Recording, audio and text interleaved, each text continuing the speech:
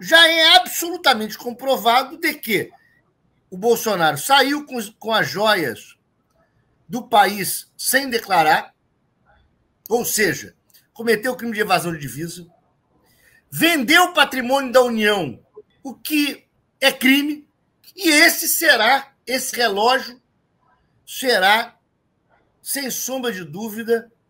o elemento que vai levar a, primeira condenação do Bolsonaro.